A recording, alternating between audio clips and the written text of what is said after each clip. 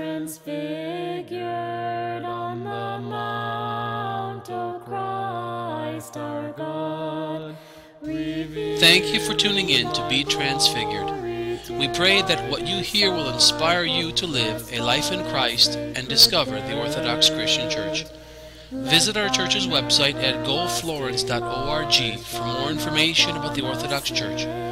Or join us in worship every Wednesday at 6 p.m. in Florence, South Carolina, where visitors are always welcome.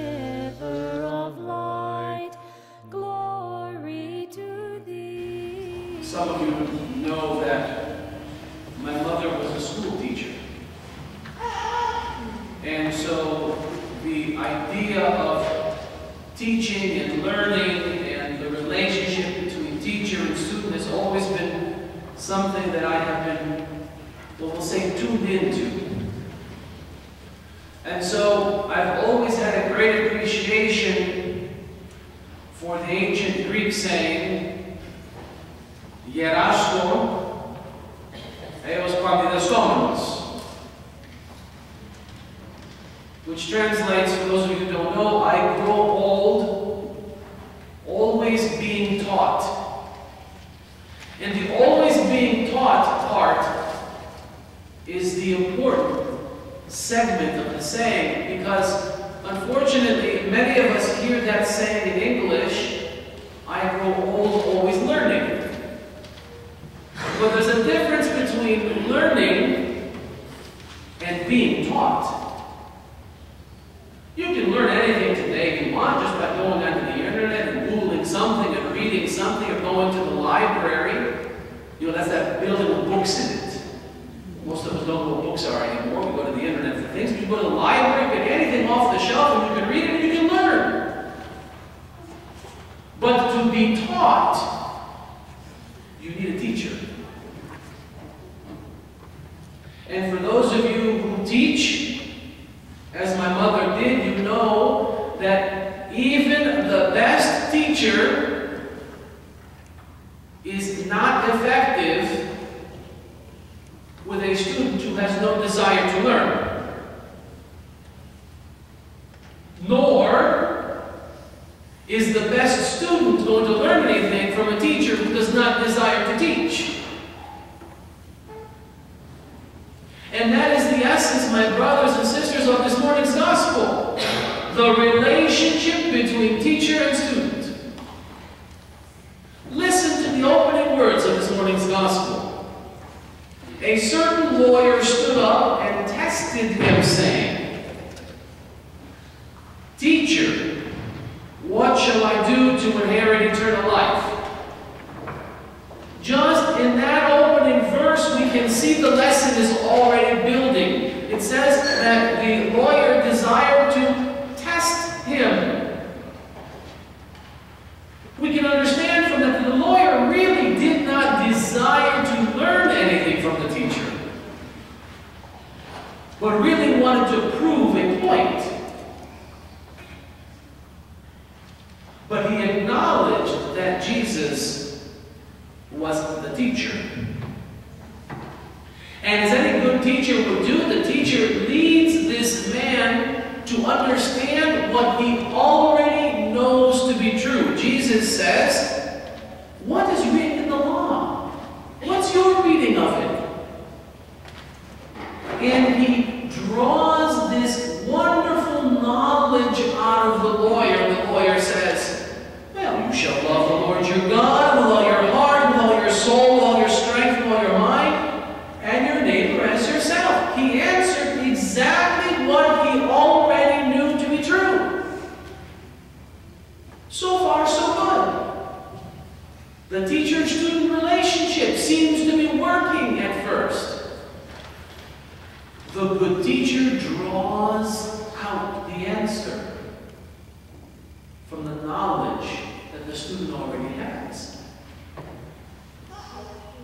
But knowledge, my brothers and sisters, is not sufficient without action. Then the Lord said, You have answered rightly. Do this and live. And the lawyer, remember now, he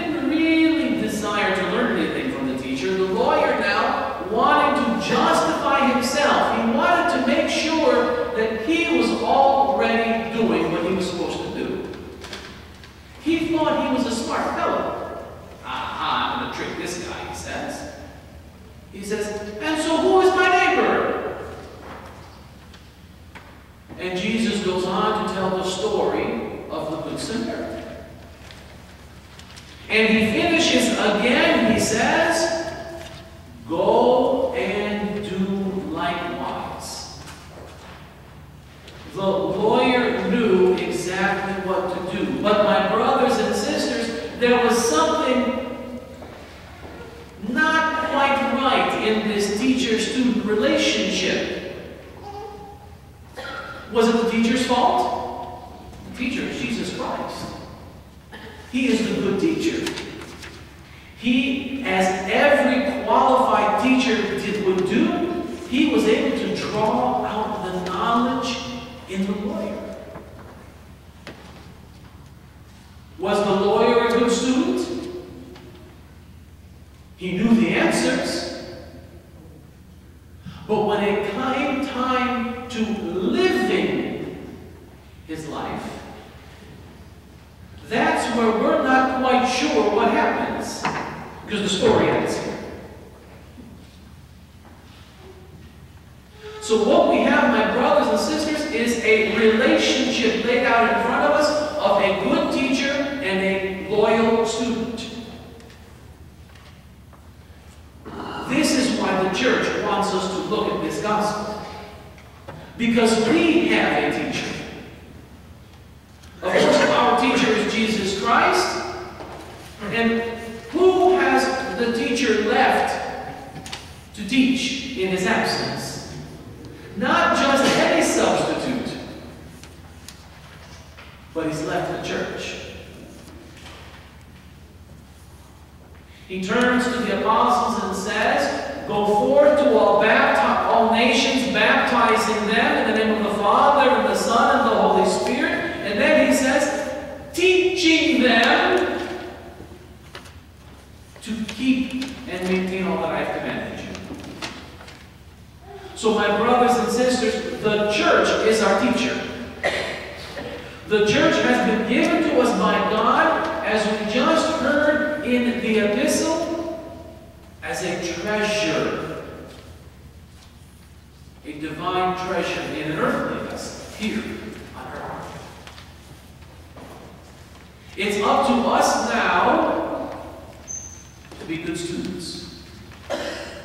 It's up to us, my brothers and sisters, to have a better attitude than this lawyer. And this really happens more often than you might think. Some people would like to say, Father, what does the church have to say about dot, dot, dot? Can really do just about anything. What does the church teach about fasting on Saturdays? We'll throw that out there as an example. And then the church explains her teaching about fasting on Saturdays, which, by the way, Saturdays is not a fasting day of our church, except for Holy and Great Saturday, and very few other exceptions. The church teaches that you do not have to fast on Saturday in order to receive Holy Communion on Sundays. This is a teaching of the church. And so when we ask the church these questions, the good student hears the answer and then follow the obedience of Jesus Christ.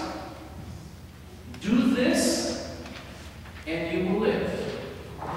Go and do likewise.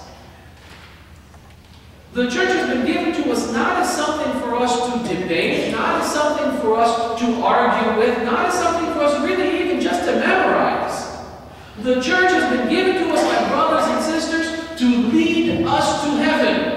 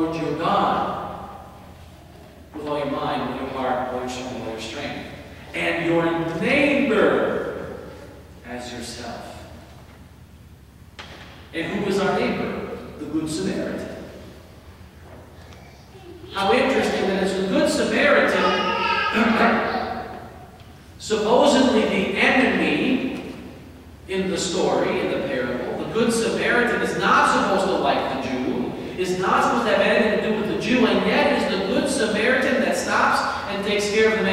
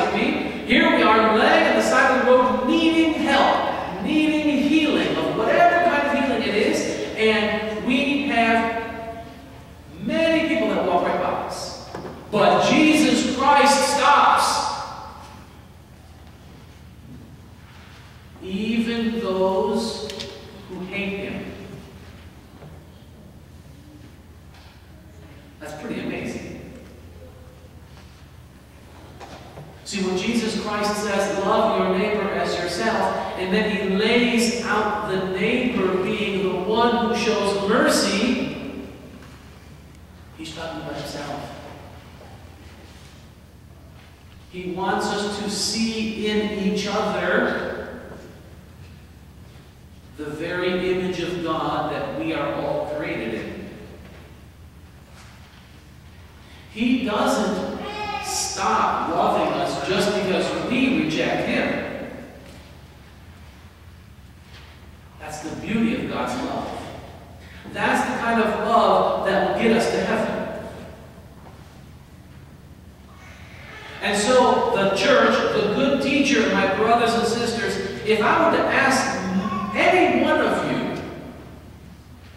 What does it mean to be a good Christian?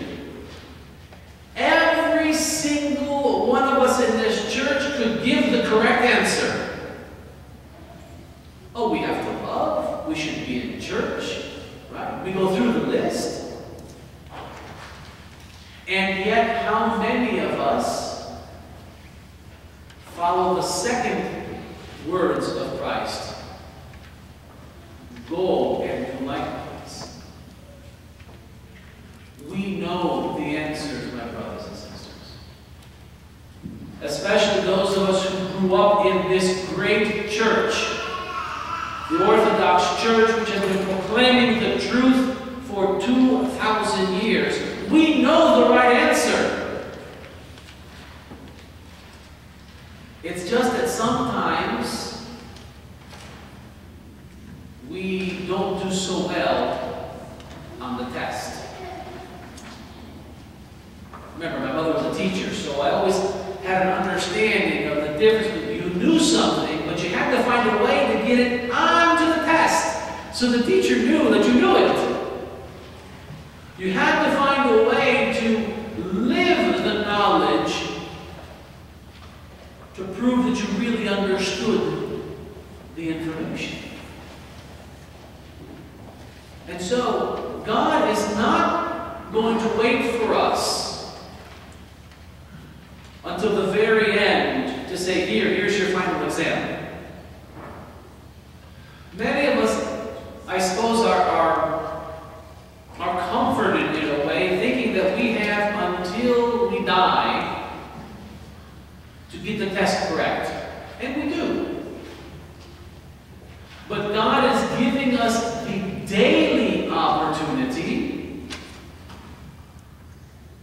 to practice and study. You know how many wonderful teachers give us those practice quizzes, right? Okay, open your papers, open your books, and they walk us through. The good teacher does this. Walks us through the information, walks us through how to express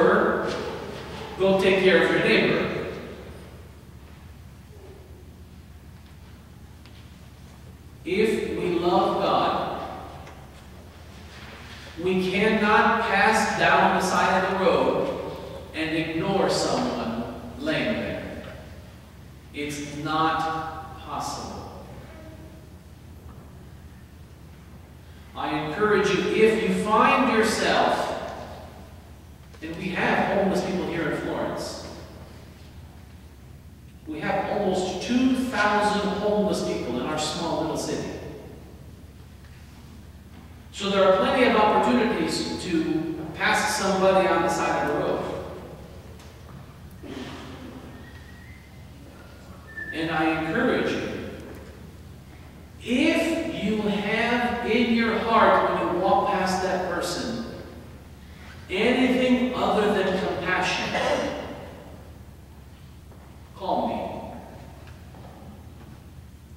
Call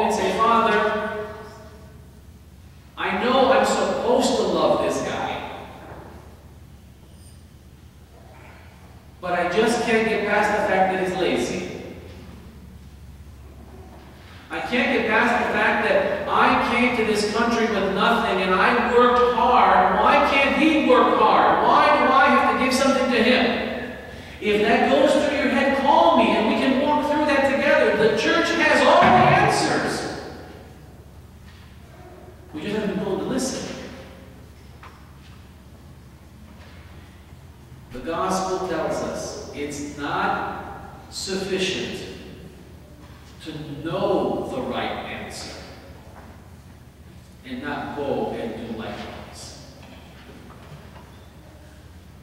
So every now and then I give homework assignments, right? So our homework assignment this week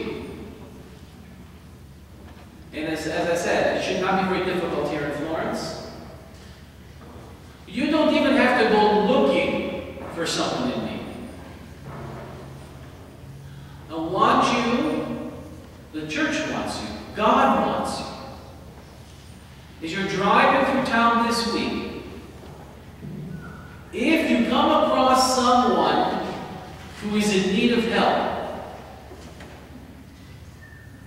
stop. Stop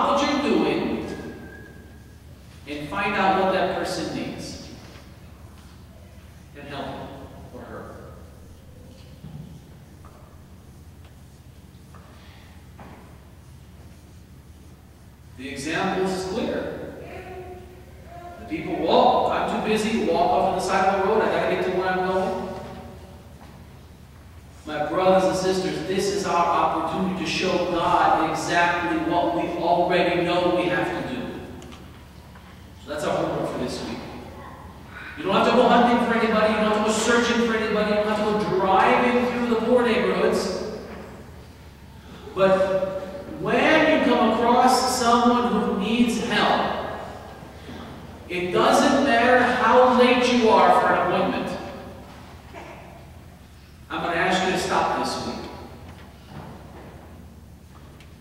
Stop and see what that person needs.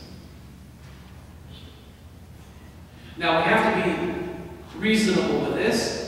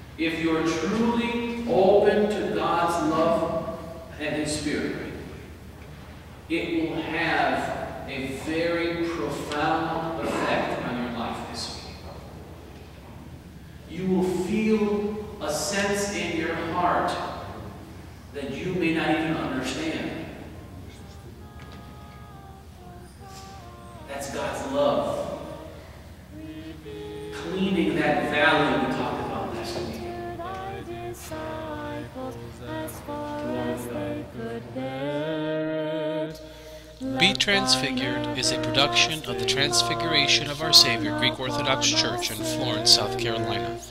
Worship services are held in the church each week. Please visit our website at goflorence.org for more information.